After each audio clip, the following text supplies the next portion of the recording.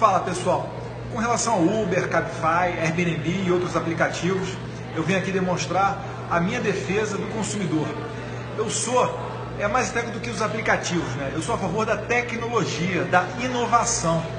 A gente não pode agir como, por exemplo, na primeira revolução industrial, lá na Inglaterra, no período do ludismo, onde os empregados quebravam as máquinas, dizendo que as máquinas estavam retirando os empregos daqueles trabalhadores.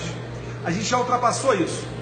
E em que pese meu voto na Câmara dos Deputados ter sido favorável quando esse projeto de lei passou por lá, favorável ao Uber, aos aplicativos, eu deixo aqui expressar, é, mais uma vez, expressa a minha opinião. E eu não sou contra os taxistas. Eu acho que a gente tem que aproveitar o momento é de colocar a regulamentação dos táxis igual ao do Uber.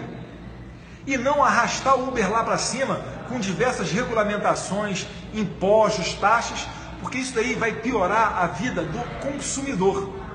E não tem como a gente brecar isso. A nossa Constituição ela consagra a livre iniciativa, a concorrência. Por mais que o Congresso Nacional aprove essa lei, ela muito provavelmente será levada até o STF, que pode julgar a anulação dessa lei pela sua inconstitucionalidade. Então, eu não estou criando desemprego para o táxi. Eu estou é, colocando né, uma, um aplicativo, uma tecnologia adiante. A gente tem que permitir isso. Quanto menos o Estado intervir na vida do indivíduo, melhor será a vida dele. É assim como o Netshoes, né?